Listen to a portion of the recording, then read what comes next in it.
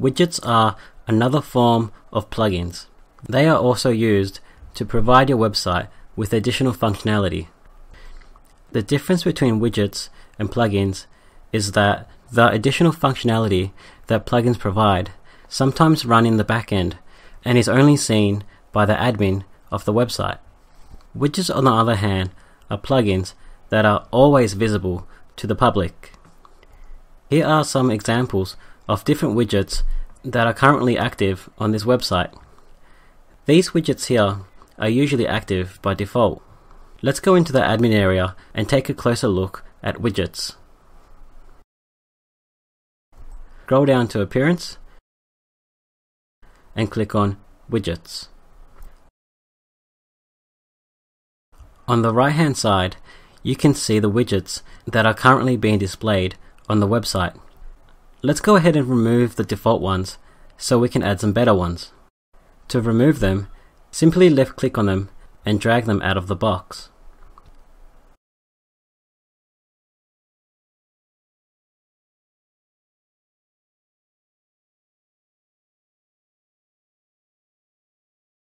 Now that we have removed all the widgets, let's go and take a look at the website. As you can see, search, archives and meta are still showing. This is because if there are no widgets in the sidebar, then these are displayed by default. Let's go back into the admin area and install a cool widget so we can get an idea of what type of widgets are available and how to use them. Scroll down to plugins and click on add new.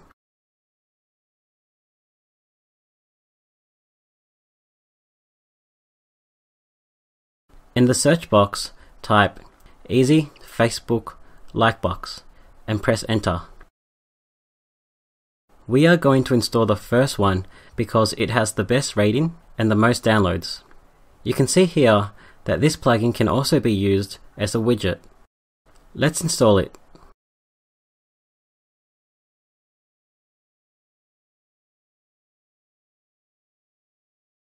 Once it has been installed, make sure you activate it.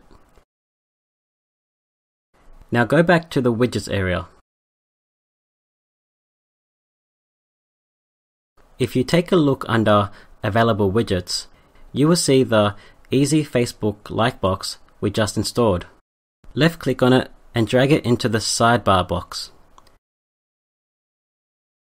Now that the widget has been activated, let's go ahead and configure it. In the title, I'm going to write like me.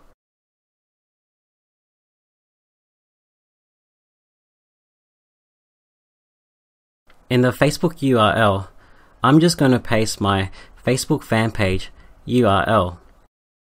Application ID is optional, so I'm going to skip it. Width, I'm going to write 289 because I know that this width works best for this theme. If you are using a different theme, then you will probably need to play around with the width to get it looking the best it can be. I want to use a default height for the widget, so I'm going to leave it blank. Then there are some other options you can play around with to get the Facebook like box to look how you would like it. Just for your information, if you copy and paste the shortcode into the text tab of a page or a post, it will display the Facebook like box in that specific page or post, as well as the sidebar. Click on Save and go take a look at your website.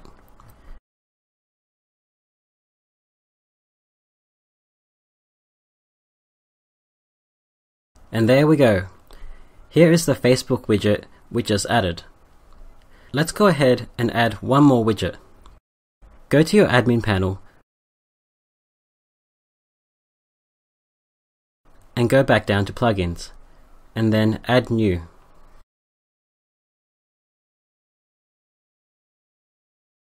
In the search box, type special recent post and press enter. Install this plugin.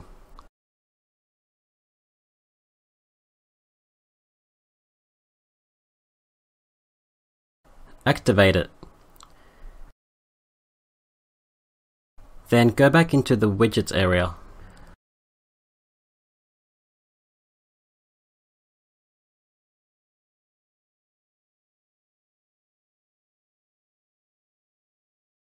Scroll down until you find the special recent posts widget that we just added.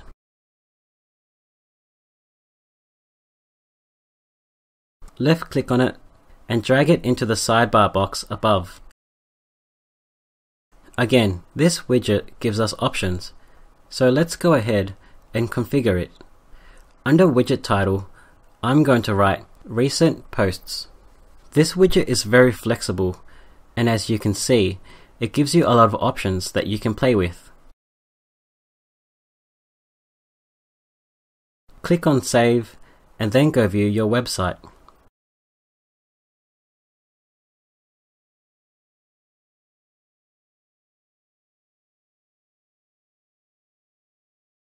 As you can see, under the Facebook like box, we have now added recent posts.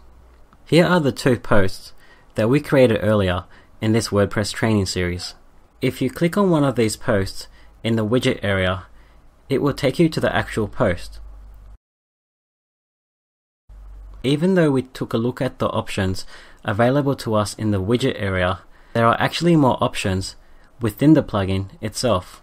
Let's quickly take a look at this. Go back to the admin area and click on plugins.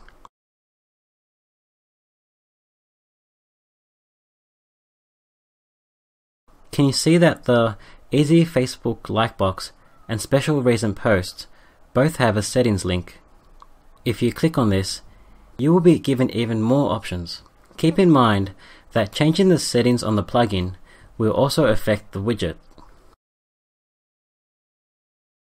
Also, another thing to note here is that by clicking on the settings under the plugin area, we will link to another section that was created when we installed the plugin and is available to us now on the sidebar.